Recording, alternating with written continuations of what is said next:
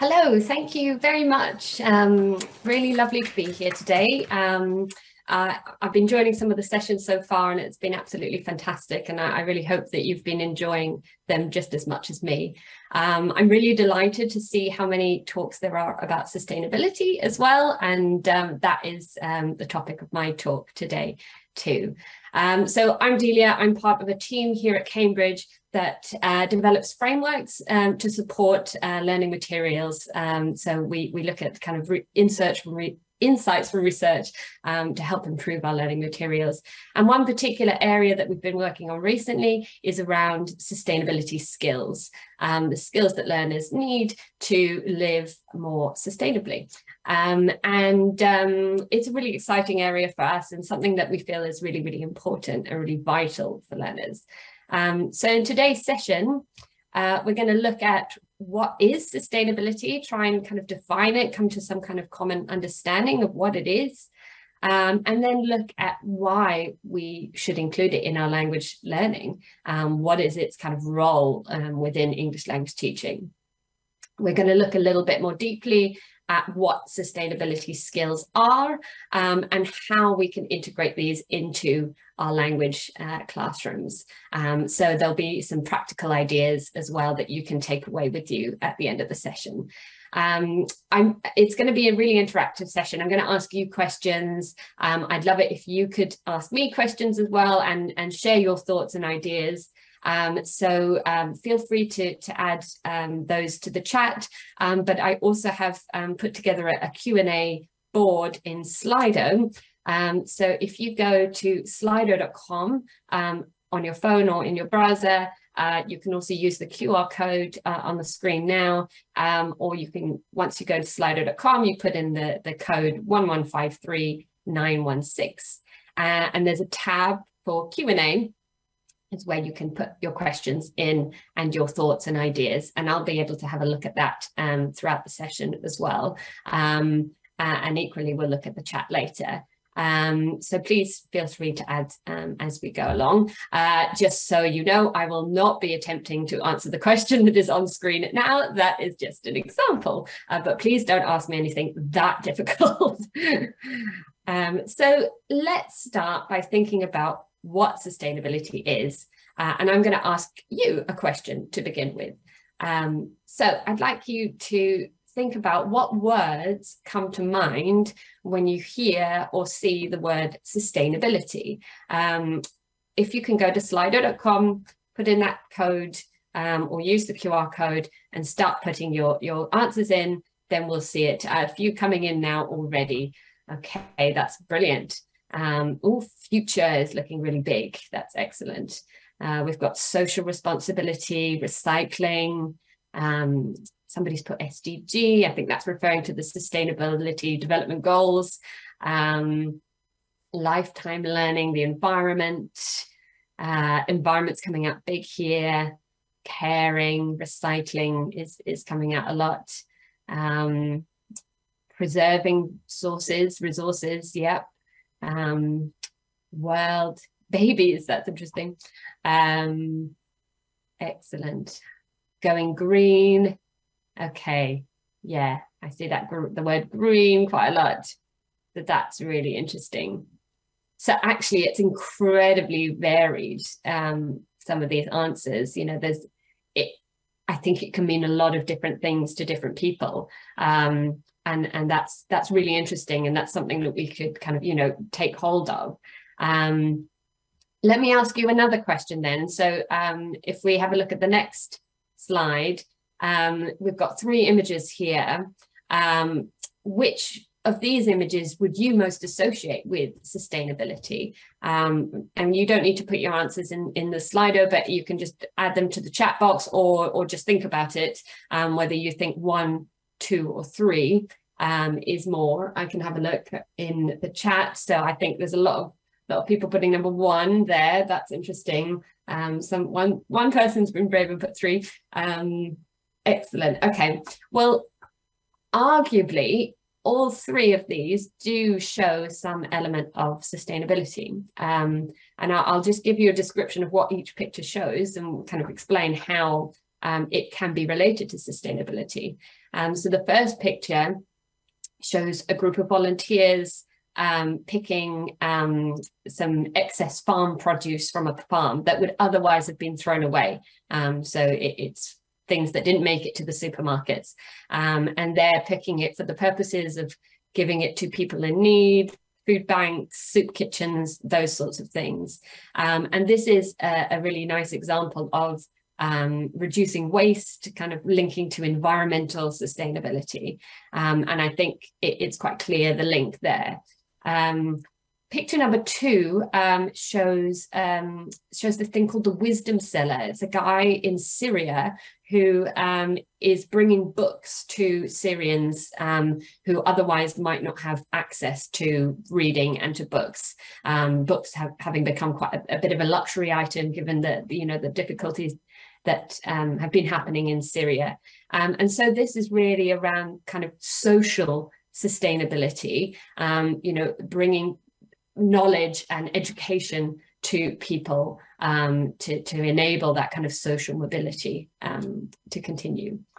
Um, and picture number three is something uh, is illustrative of a thing called the the Library of Things, and this is an initiative whereby people can share um, items, household items, things like drills or pressure washers or things that you wouldn't normally need on you know a regular basis. So you wouldn't want to buy that thing necessarily. Um, so it's about kind of reducing waste reducing you know the number of items that, that exist in the world. You know not everybody needs to have a brand new pressure washer let's say. Um, it's about kind of being able to share those resources um, that supports people financially. Um, it puts kind of purpose ahead of profit.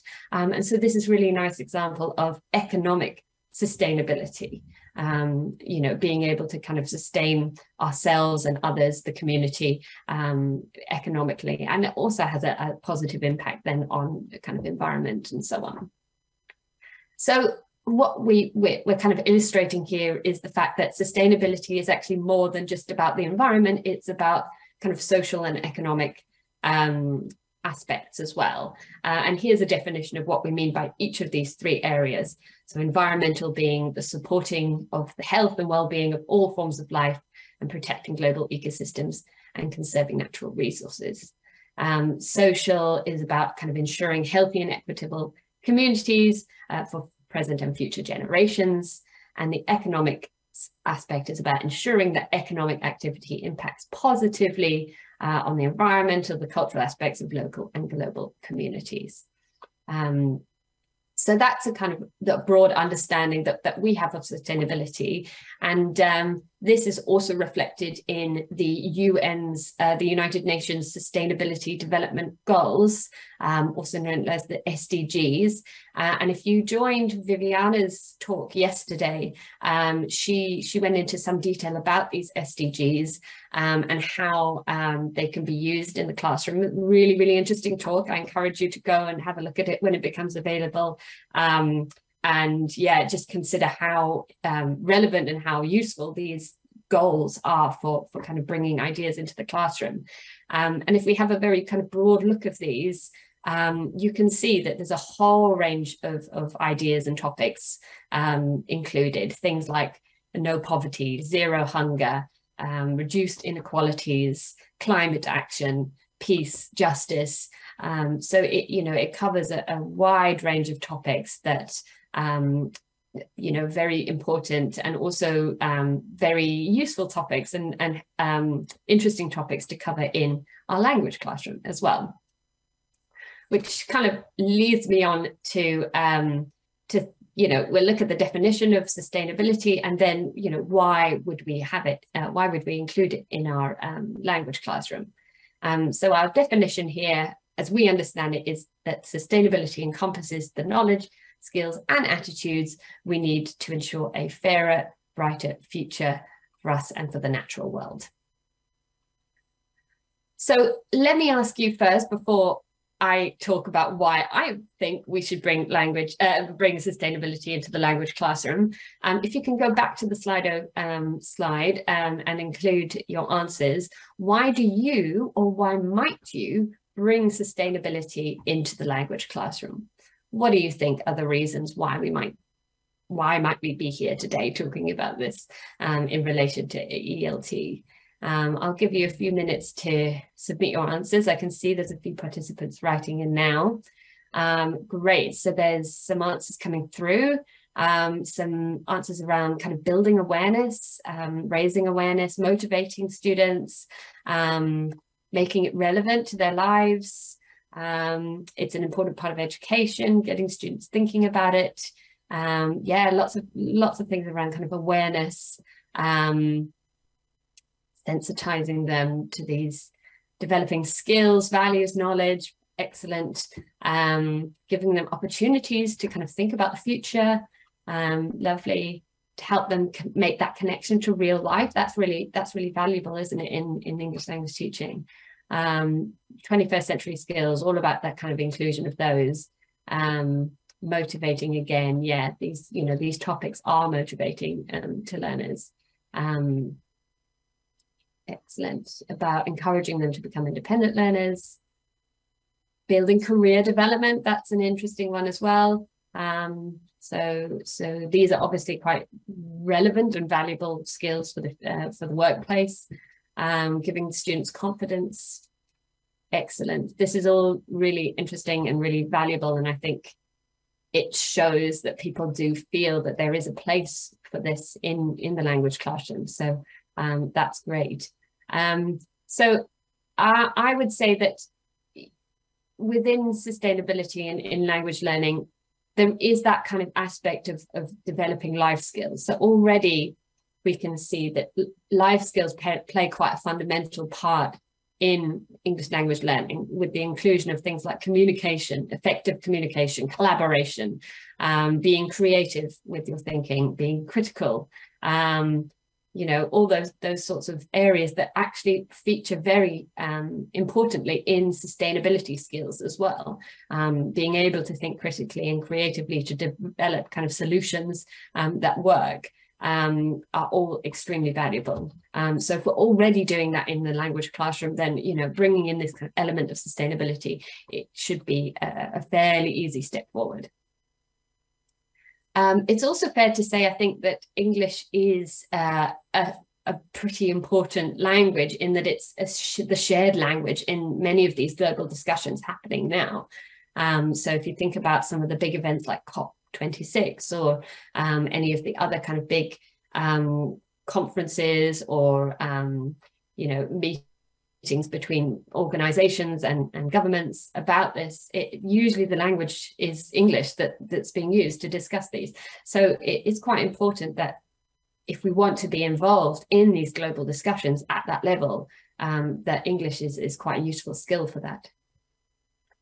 We know that young people want to play an active part. Um, there's been lots of research into this, and, and certainly we've seen it on a global scale with um, some of the, the protests that young learners have staged, um, particularly around kind of environment, environmental issues and so on. Um, so for those of us teaching young learners, um, this is something that they want, they need, and you know we need to to really think about how we can provide that for them. How can we provide the skills necessary for them to play that active part that they want to have um, and to be able to kind of take that with them to the future workplace and so on. Uh, it's worth bearing in mind as well, of course, that many government governments and institutions, maybe your school even, your Department of Education, um, you know, the, your kind of environmental um, departments, they will have certain requirements that education does include some aspect of sustainability um, education and support. Certainly that's true in the UK and it's definitely becoming more true in many different countries across um, the world. Um, so that's something that we need to bear in mind when we're kind of planning our own lessons and, and developing our materials. Um, it and it it's engaging and motivating for learners. You know, this kind of links back to the fact that young learners want to play an active part. It's not just about young learners, though.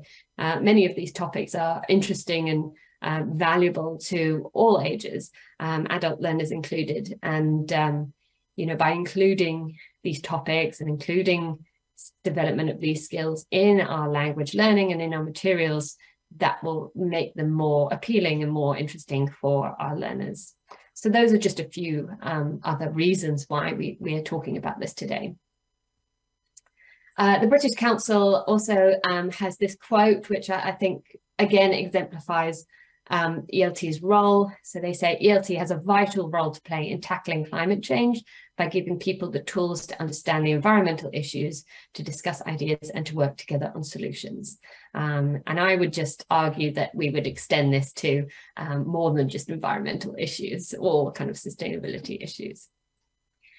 So with all of that in mind and understanding the importance and the role that it plays in language learning, Cambridge has developed uh, a framework, the sustainability framework for ELT, um, to be able to tackle some of these um, these areas. Um, and so we've looked at what are the kind of key skills um, required to um, to be and act more sustainably. And we've looked at it within four key dimensions: knowledge, values, innovation, and transformation. Uh, and so in terms of knowledge, what we mean here is the kind of the understanding of sustainability, what it is, and the different ways of thinking about it and approaches to it, towards it. With values, we're thinking about the kind of the, the beliefs and values of those um, in, in relation to sustainability, our own beliefs and values, and, and that's of others. In terms of innovation, this is around the kind of coming up of innovative solutions to some of the big challenges. Um, and for transformation, this is around that kind of understanding of how we can make a difference individually and together as a group um, within our specific context. And I think it's an important point to make that um, this could look very different depending on your context, um, what that kind of action is and what the what your kind of ability to, to be part of this is. So um, to, to look at this in a little bit more detail, so within each of these, um, these dimensions, we have these three core areas, and for each of those core areas, we've looked at the kind of the different components within that. What does it actually mean, looking on a little bit more granular level? Um, so taking agency, for example, agency being the kind of the ability to take action or to choose what action to take. Um, that's around kind of understanding your own personal agency, um, recognizing the potential for collective action, um, you know, understanding that that relationship between agency and outcome, what what my role is and how that leads to some kind of outcome, and also the kind of inspiring agency in others. So um, this, I'll share the link to this framework um, at the end of my talk. Um, you can find a lot more detail in there. Um, and we also have a white paper explaining some of the, you know, the background theory and research that went into developing um, this framework. Um, but this is just to give you a very broad idea of the kind of thinking that went on behind how we, we start implementing this in, in materials and activities. But what I really want to show you is, um, is some of the activities that we've developed based on these skills. So using the skills as a kind of foundation um, to be able to, to think about well, what does that look like in, a, in the classroom? What kind of classroom practice are we talking about here?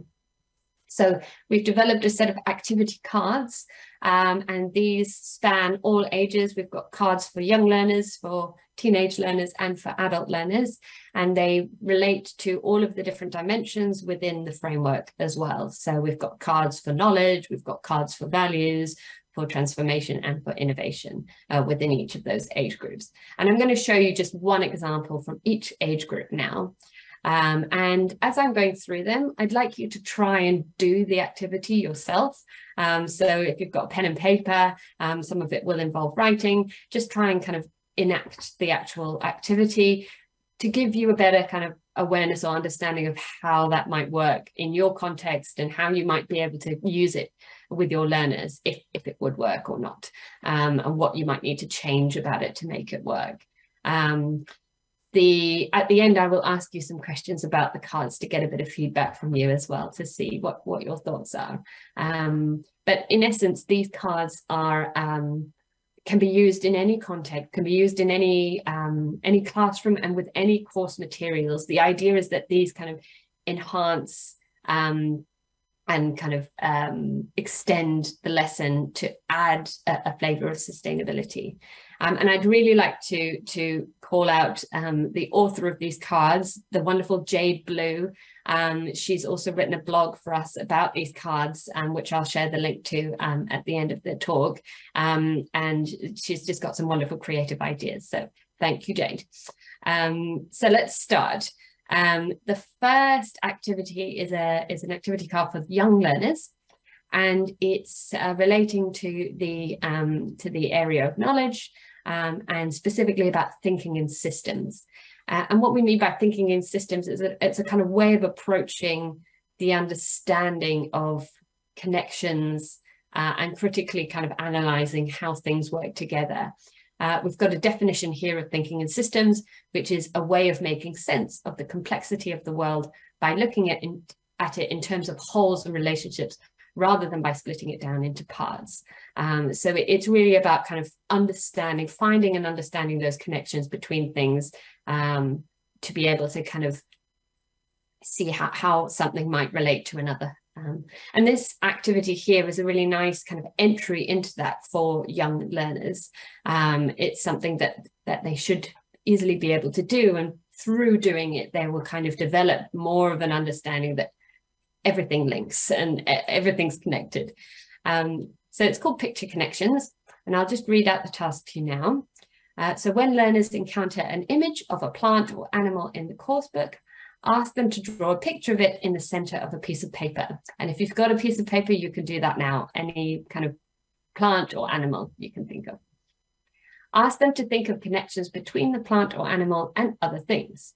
And so we've got the example here with the picture of an apple. Uh, learners might draw the inside of an apple uh, or a worm eating the apple or a tree that the apple grew on or the rain going into the soil where the apple tree grows or a carton of apple juice encourage learners to think about how these things and processes are connected to each other and have them draw pictures to show their ideas.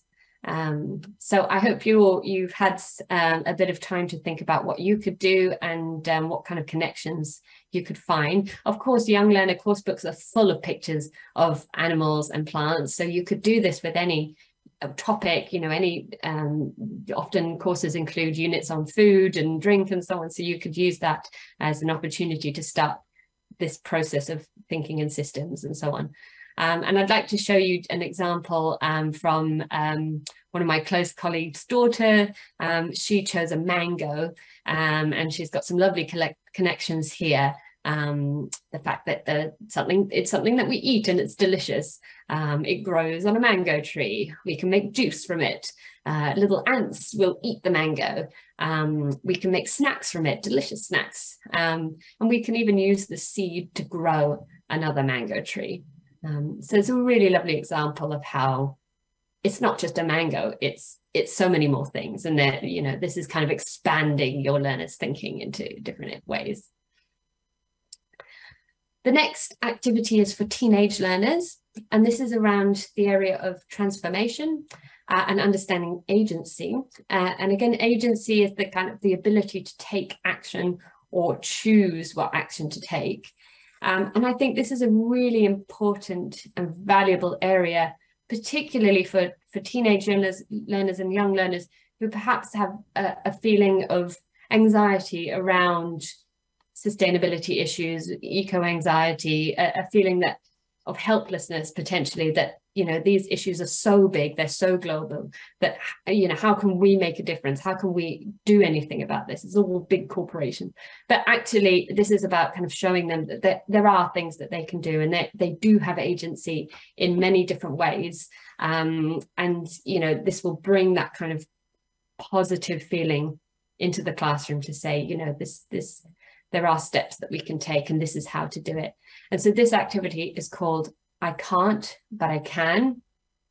And um, I'll just read um, this to you now. So when learners discuss sustainability problems and issues in class, invite them to think about what they are able to do and not able to do in order to help resolve the issue or solve the problem. Write the sentence stems below on the board and ask learners to complete the sentences before comparing their ideas in groups. Um, so I want you to think about, uh, let's take the example of like plastic pollution. Um, think of a sentence in relation to that. So I can't, but I can, and if I do, then etc. So in relation to plastic pollution, here's an example. So I can't stop companies selling plastic bottles. There are you know, lots of plastic bottles. I can't stop that, but I can stop buying them myself. Now, I can stop doing that. That's my um, ability in action.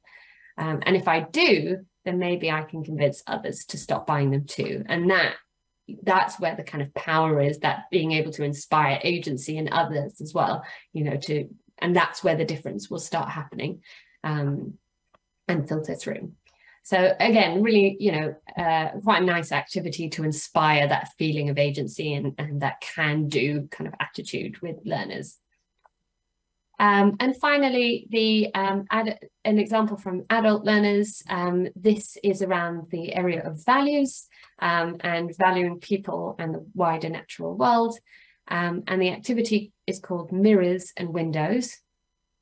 And uh, the task here is when learners encounter an image in the coursebook showing people from another culture, age, group, or background, write the following questions on the board and ask learners to look at the image and discuss their ideas. And I'm going to show you a, an example now, and we'll look at the questions with that. Um, but this is, you know, you can use any image really showing people. Um, that this is really flexible um, activity because of course there are many many images in in course books um, that you could kind of start examining what are the, the similarities and differences essentially between us and those people. Um, so here's an example. Um, this is a, an image I've taken from um, Prism. Um, this is in their students book, unit one. And their questions are, what can you see in the image that is like a mirror um, for your own life, which reflects something familiar to you? Um, what can you see in the image that is like a window to another culture or way of life, which shows something unfamiliar to you? And what human rights do you think are most important to the people in the picture? Are these the same or different to the human rights that are most important to you? Um, so um, I'd like you to think about that now. Um, what what you think with in terms of this picture and and jot them down. Um, some examples potentially um, you might look at this picture and think a mirror might be that there's a close family collection. Connection family is obviously really important to those people. Um, for me the mirror is you know the kind of the, the the parents have children young children. That's the same for me. It's a boy and a girl same for me. Um, so that's a kind of mirror into this. Um, the window might be well maybe the kind of the family dynamic might be a bit different. Um, so for me, I think it what's different about it from my reality is that my my grand or not my grandparents, but my parents, my children's grandparents uh, are not together. They're, you know, they've they've divorced. So that might be kind of a, a difference in terms of culture or realities between us.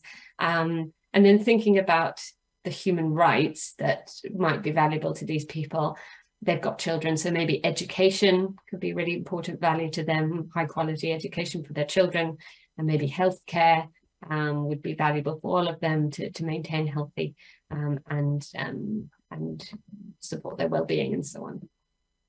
So that's that's a way for learners to kind of start evaluating what their own values are and how those might be similar or different to other people and you know how what that means um, and how that might impact on the way that we interact with others and how we understand what's kind of important and what isn't important to them. Um, so it, it's that that way into empathy in a way as well. So that is uh, that's just a snippet of what's available. Um, these activity cards are freely available online and I will share the link to them at the end of the session. Um, please feel free to go in and download them and try them out in your classroom. Um, and if you do try them out in your classroom, we'd absolutely love to hear how it goes. Um, so please do get in touch. Um, but I'd like to just ask you some questions, some initial you know reactions to what you felt now about um, those activity cards um, so are these cards something that you could use in your context do you think that it would work Um, what would you need to change about them or change about your context to make them work? Uh, and what do you like or dislike about them?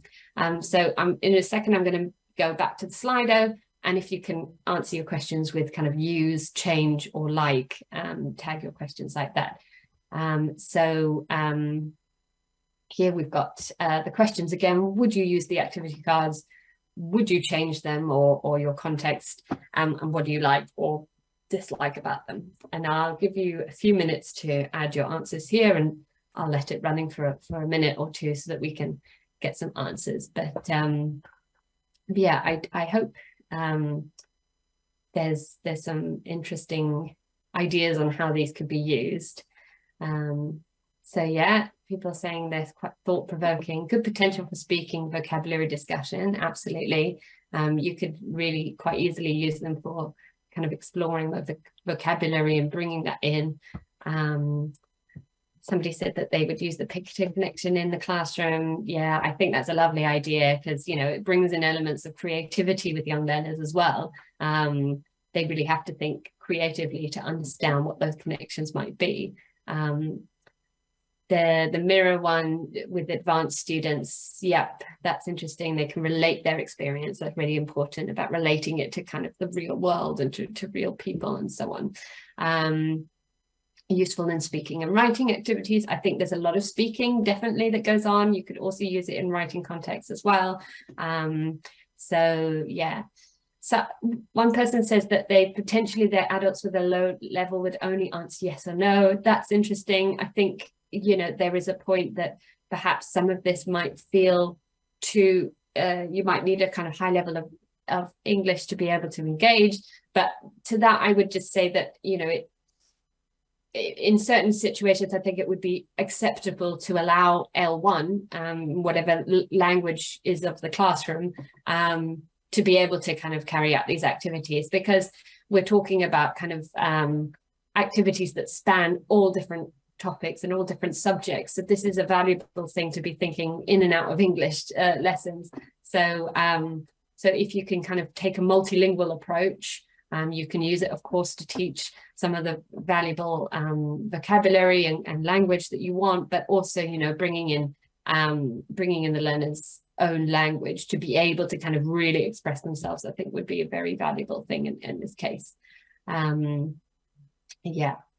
Um, excellent. Okay, well, thank you. If you can kind of continue adding any thoughts um, and ideas to the to this slide or to the Q&A as well. Um, we'd really love to hear all of those ideas. And, and as I said, if you do actually get the chance to kind of use these in your classroom, um, it'd be great to hear how it went and what your students um, what your students produced. And, you know, if you want to share that as well with us, it would be fantastic. Um, so thank you for that. Um, I'm going to kind of wrap up soon. Um, and what I wanted to do before that is just share with you some insights that we got from a group of learners um, from the, the Bombay Cambridge International School in India, which we have been doing some research with.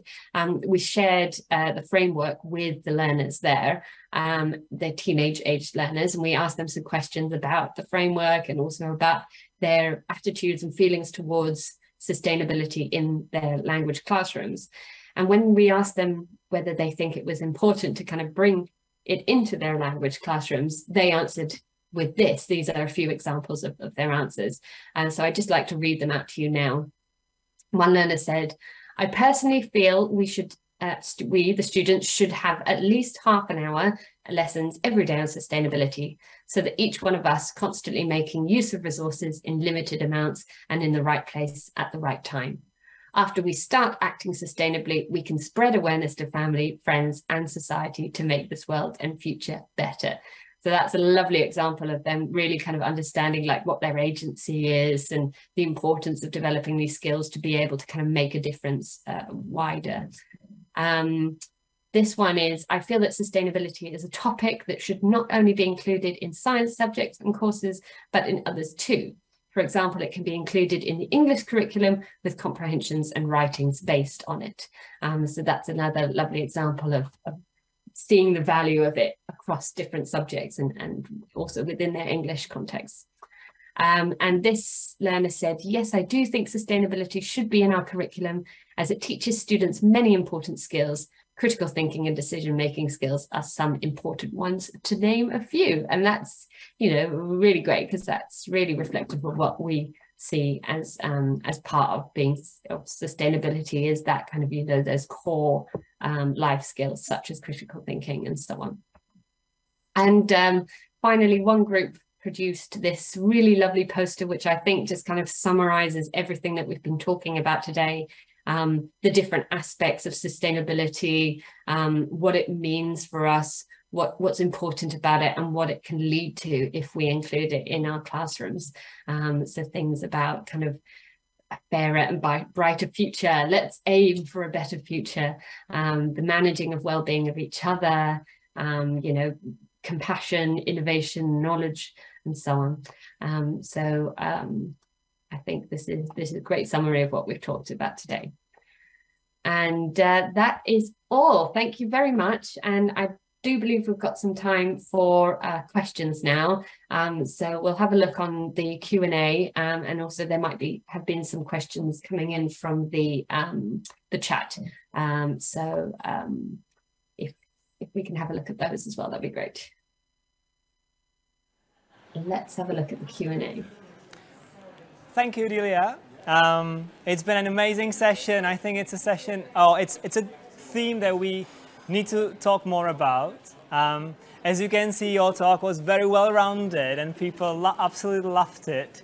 Um, there are not many questions in the Q&A box, but there is a lot of praise to the talk. Okay. well, that's good. for me, uh, what was most surprising was that, or most surprising, most useful, I'd say, is that there's not just one type of sustainability, right? And there are yeah. different layers that we as teachers can uh, be attentive to. Um, yeah. So I really enjoyed um, the activity on agency, for example. Um, Thank you. Yeah, no, I, I think that's a really myself. good point. Yeah. Would you have anything to add? No, I mean, I just, you know, I'm just that, just that I think, you know, there there is some importance in thinking about these skills and uh, kind of identifying what the what the skills are and how they're kind of maybe more specific than just thinking about life skills you know seeing how they relate to sustainability related topics and issues that come up in our uh, everyday course books and so on um, so that we can really make the most of them in the classroom. Um, they're there you know they're you know it's it's not it's not too difficult to bring them in. Um, it's just about kind of identifying the right moments and the, the right context in which to do it. So um, i'm confident that everyone will be able to to bring sustainability into their classrooms. Perfect. And it's it's so great that cambridge brings these bite-sized activities that we can immediately use in our classes. I think that's excellent. Yeah. Thank yeah. you very much delia for your session. Lovely. Thank you very much for having me.